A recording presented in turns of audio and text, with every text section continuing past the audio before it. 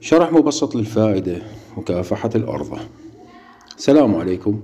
معالجة الأرضة كيفية عمل منظومة أنابيب لحقن مادة الكلورودين حتى آه، حتى تخلص من الأرضة وبالذات بالمناطق الزراعية. طبعا الأرضة تكثر بالمناطق الزراعية.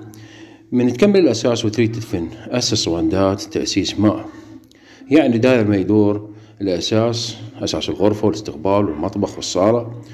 بداخل بالداخل. يبتعد عن الأساس فد خمسة وعشرين سنتيمتر. هاي الصوندات ثقبهن في ثقوب عدة ولمسافات بين الثقب وثقب عشرين سنتيم يعني بين ثقب وثقب عشرين سنتيم أو آه، موجودات صوندات جاهزة تخليهن توزعهن على أجزاء البيت من داخل أو من خارج البيت بالذات جهة الجيران. راح تقول لي من أدفن آه، يسد التراب؟ يعني من أدفن عود يسد التراب؟ لا أخي من تكمل جيب حصو ويفضل هذا الحصو الأبيض تدفن بيه تأسيسك تدفن بيه تأسيسك كله من تكمل تأسيس البيت كله كلهن آه، يرابطن على بوري واحد اربطن البواري على بوري واحد صعد السطح نفس تأسيس الماء نفس شلون أسست الماي نفس الترتيب صعد البوري لفوق تخلي تانكي فوق آه، أبو المية لتر وتربط البوري عليه. جيب مادة مكافحة للأرضة موجودة عند مكاتب الزراعة.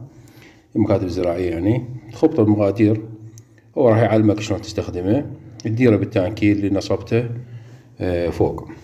راح ينزل ويتوزع كل البيت وبالمناسبة من تغطي تأسيسك بحصو كمل شغلك ادفن وطبق أرضية وكل ستة أشهر جيب مادة مكافحة الأرض.